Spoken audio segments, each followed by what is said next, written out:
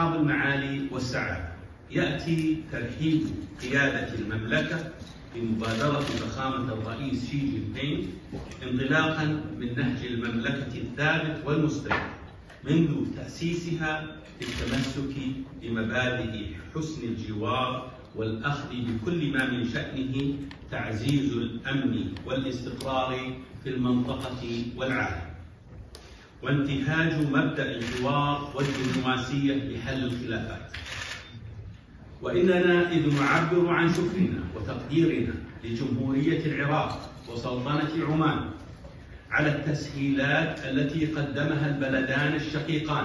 لجولات الحوار السابقة فإنه من دواعي سرورنا توصلنا هذا اليوم إلى الاتفاق الذي يأتي تتويجا للمباحثات المتعمقة التي أجريناها خلال هذا الأسبوع والتي حظيت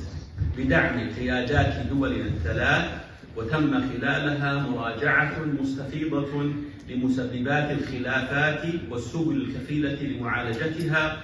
حيث حرصت المملكة على أن يكون ذلك في إطار ما يجمع البلدين من روابط أخوية وفتح صفحة جديدة تقوم على الالتزام بمبادئ ومقاصد ميثاقي الأمم المتحدة ومنظمة التعاون الإسلامي والمواثيق والأعراف الدولية. كما أن ما تم التوصل إليه من تأكيد على مبادئ احترام سيادة الدول وعدم التدخل في شؤونها يعد ركيزة أساسية لتطور العلاقات بين الدول وتعزيز الأمن والاستقرار في منطقتنا وبما يعود بالخير والنفع على البلدين والمنطقة بشكل عام وبما يعزز السلم والأمن الإقليمي والدولي.